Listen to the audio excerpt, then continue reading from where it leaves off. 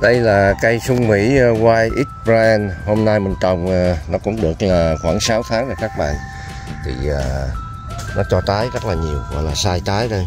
Cái cành nhỏ dưới đất như thế này nè cũng nhiều trái luôn. Đây, chỉ chích trái. Và hiện nay thì một số trái nó bắt đầu chín.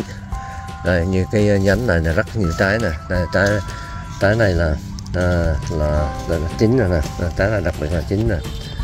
À, tí nữa mình sẽ hái rồi mình cắt ra các con thấy cái ruột nó như thế nào.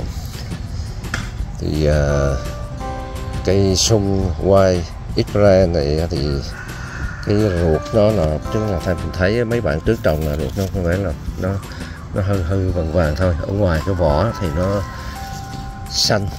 À, nó chín là nó cũng xanh chứ nó không có có có có vàng hoặc là đỏ cam hoặc là đỏ tím. À, các bạn thấy là trái rất là nhiều.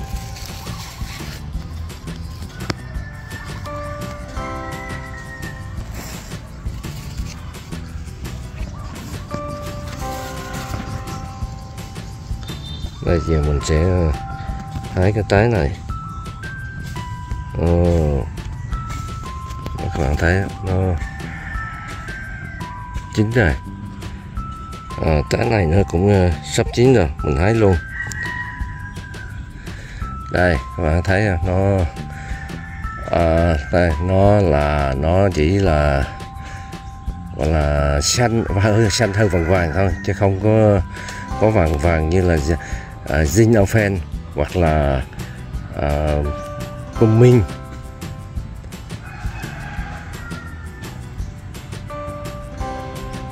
đây là hai trái sung ờ, quay ờ, Israel mà mình vừa cắt rồi đó các bạn. Thì ờ, đấy thì như mình nói ban đầu á cái vỏ nó chín thì nó nó hơi hơi hơi xanh xanh tức là hơi vàng xanh vàng thôi đó.